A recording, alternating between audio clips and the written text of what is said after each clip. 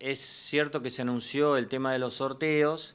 Nosotros, a su vez, desde la parte técnica, hemos estado trabajando con la empresa Camusi a los efectos de eh, la existencia de un gasoducto troncal que, eh, bueno, se hicieron toda una serie de trabajos para reconstruir la traza por donde pasa y eh, una vez que estuvimos seguros de eso, la reglamentación establece que tiene 15 metros de cada lado a partir del caño, o sea, son 30 metros de franja a lo largo de todo ese ducto que, eh, digamos, el diseño de las, del loteo tiene que estar condicionado que eso va a ser un espacio verde, porque no se puede utilizar para otro tipo de, espacio. Si lo queremos aprovechar, tiene que ser un espacio verde.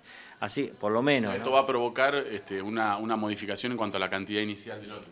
Sí, en realidad nosotros ya lo habíamos advertido eso en los informes previos y habíamos hablado también de valores estimados de 470, habíamos hablado de menos porque sabíamos que estaba eh, no solo el, gasoducto, sino también el acueducto, que eh, implica menos superficie, pero bueno, la condición este, hace que, no, que sean menos. También podemos llegar a ajustar el tema de las calles, trabajar eh, con calles de 15 y no de 732, pero todo ese trabajo es lo que estamos esperando, que venga algún profesional, algún agrimensor, para poder hacer, eh, empezar a trabajar más en firme en el loteo.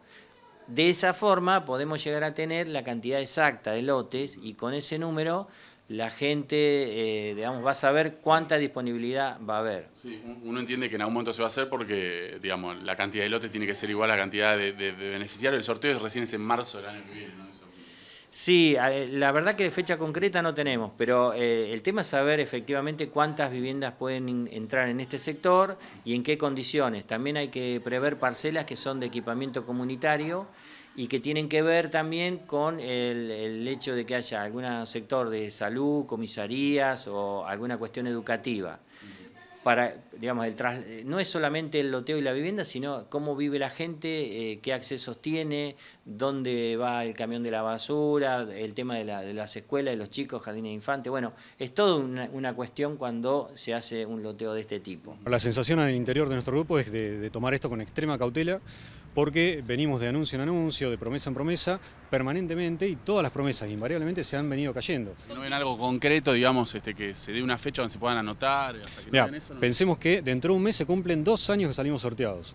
Preguntémosle a los funcionarios de cualquier color político cuántos lotes se generaron en todo este periodo de tiempo. Cero lotes, no se generó absolutamente nada. Entonces, bueno, no podemos tomarnos eh, con, alegría este anuncio, sino con, como te decía, con extrema cautela, porque además lo que se está planteando es que eh, con las tierras del ejército querer solucionar toda la problemática de procrear, que no sabemos cuántos somos, pero tenemos la certeza que somos cientos y cientos de familias, tranquilamente mil familias, con eh, un macizo que podría arrojar no 500 y pico lotes, sino que desde el municipio se plantea que son 400, casi 500 supongamos, eh, con lo cual luego de ese sorteo que no sabemos cuándo se va a realizar, muchas familias van a quedar, van a seguir sin tierra y qué perspectiva se abre para esas familias. Entendemos que bueno, eh, continuar con esta espera y, ninguna solución ¿Con qué cercana. han tomado contacto el último? ¿Qué les ha dicho?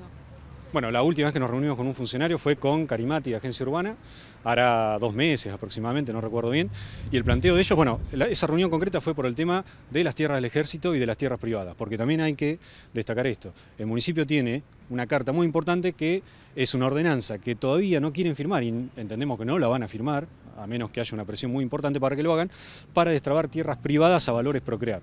Eso indica que tenemos las tierras del ejército, las tierras de provincia y tierras privadas que alcanzaría de sobra para solucionar el problema de todas las familias que estamos esperando, de los distintos sorteos, y sin embargo no se apela a ella porque no hay voluntad política de hacerlo. ¿Y desde el municipio ahora se han comunicado con alguno de ustedes? No, no, en absoluto, en absoluto. y ¿Qué tan atrás han quedado para la construcción con el incremento que tienen los materiales y con el dinero que les han dado? Bueno, permanentemente estamos corriendo por detrás. Eh, tengamos en cuenta que es un crédito al que todavía no accedimos y el último, la última actualización fue en mayo de 2014, hace más de un año. Eh, eh, entonces, bueno, y otra problemática más que se suma a esta cuestión de la inflación y demás, es que muchas familias, ante la desesperación de no poder acceder a la tierra, se han sobreendeudado para pagar, para cubrir esa brecha entre lo que otorga Procrear y lo que pide cualquier dueño de una tierra hoy por hoy, con lo cual antes de comprar el primer ladrillo para empezar a construir, ya están por demás endeudados. Por lo tanto, eso es un cuello de botella tremendo a la hora de empezar a construir.